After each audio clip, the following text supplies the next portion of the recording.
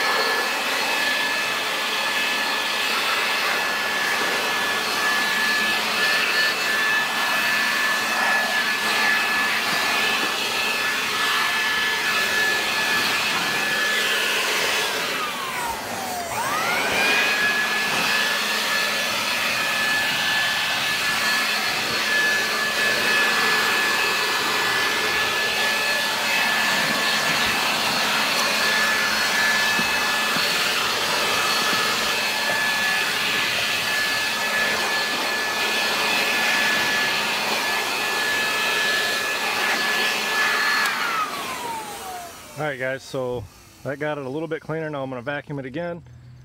I did manage to find that right there. It's a Spider-Man sticker that I can almost guarantee my kids have been looking their entire life for. Um, and if I go to throw it away, they'll, uh, you know, cry about it because they didn't know where it was for the last 10 years. But I found it and they've been looking for it. So I'm gonna throw it away before they get to it.